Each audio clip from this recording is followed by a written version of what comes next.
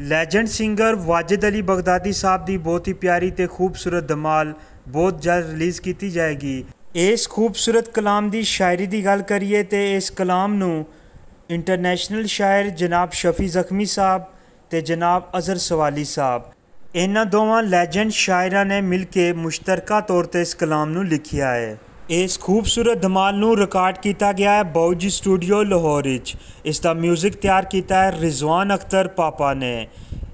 ਇਸ ਦਾ mix master ਕੀਤਾ ਹੈ ਰਿੰਕੂ ਅਲੀ ਵਾਜਦ ਜੀ ਨੇ। ਵੀਡੀਓ ਦੀ ਗੱਲ ਕਰੀਏ ਤੇ ਵੀਡੀਓ ਬਹੁਤ ਹੀ ਪਿਆਰੀ ਤੇ ਖੂਬਸੂਰਤ ਤਿਆਰ ਕੀਤੀ ਗਈ ਹੈ। ਵੀਡੀਓ ਡਾਇਰੈਕਟਰ ਨੇ ਜੀ ਕਾਸ਼ਫ ਈਸਾ।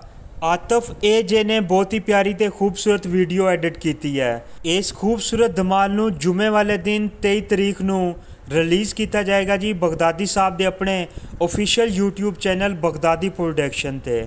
ਬਗਦਾਦੀ ਸਾਹਿਬ ਨੇ ਨਾਜ਼ਰੀਨ ਤੇ ਉਹਨਾਂ ਦੀ ਪੂਰੀ ਟੀਮ ਨੇ ਬਹੁਤ ਹੀ ਮਿਹਨਤ ਕੀਤੀ ਹੈ ਜੀ ਇਸ ਖੂਬਸੂਰਤ ਕਲਾਮ ਨੂੰ ਤਿਆਰ ਕਰਨ ਲਈ।